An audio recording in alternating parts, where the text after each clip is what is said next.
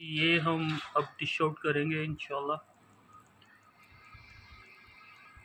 और लाजमी घर पे ट्राई करिएगा और मुझे कमेंट पे बताइएगा कि आपको ये डिश कैसी लगी है। बिस्मिल्लाह।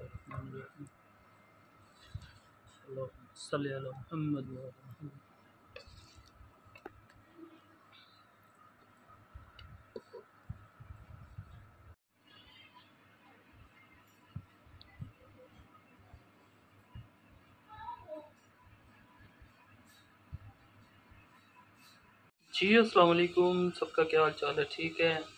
आज हम फ्राइज़ बनाने लगे हैं चिकन के साथ। मैं इंशाल्लाह आपको दिखाता हूँ इसकी मेकिंग ये मैंने चिकन मैरिनेट कर लिया है मसाले डाल के सारे। तो आपको दिखाते हैं इंशाल्लाह। जी, ये कढ़ाई में हमने एक टेबल स्पून जो है ना वो ऑयल डाल लिया है कि चिकन थोड़ा सा इसको फ्राई कर लें हम। इसको चिकन को पका लें हम।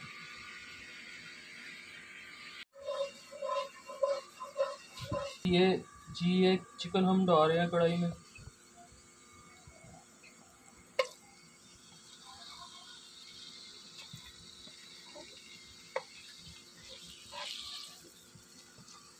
इसको हम जो है ना, भून लेंगे थोड़ा सा थोड़ा सा नहीं, यानी कि अच्छी तरह से भून लेंगे। इसका कलर भी आ जाएगा। फिर इसमें शिमला मिर्च और प्याज ऐड करेंगे हम।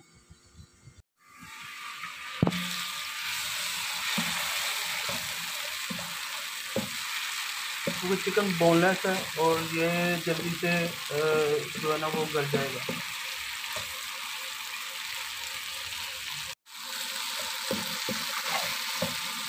अब इसमें हम सोया सॉस डालेंगे।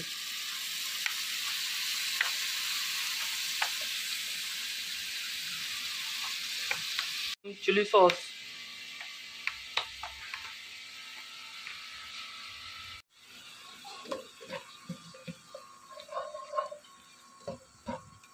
हम इसको चिकन को इसमें थोड़ा सा पकाएँगे।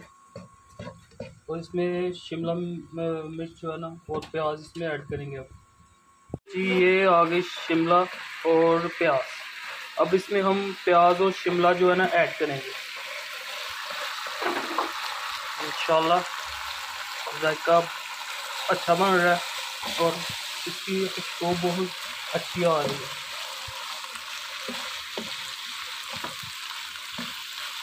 कलर आपने देख लिया।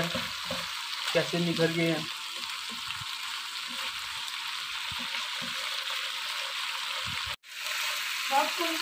इसमें हम अब काली मिर्च ऐड करेंगे थोड़ी सी। इसमें हम थोड़ा सा ज़ीरा ऐड करेंगे। इसको हम भूनेंगे अभी।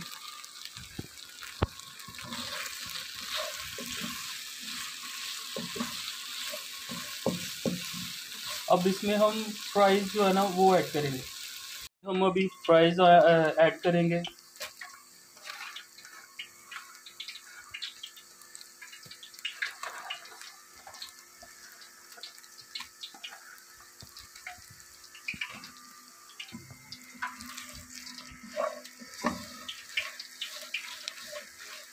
अब इसको तकरीबन तीस सेकंड तक इसको थोड़ा सा आ, हमने भूनना है और हमारी फ्राइज़ जो है ना वो रेडी हो जाएगी।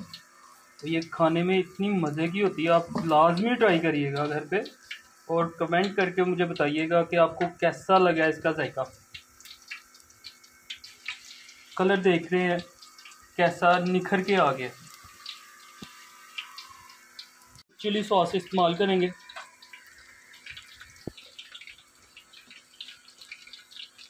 ओके। ये धनिया आ गया। अब इसको थोड़ा सा मिक्स करेंगे।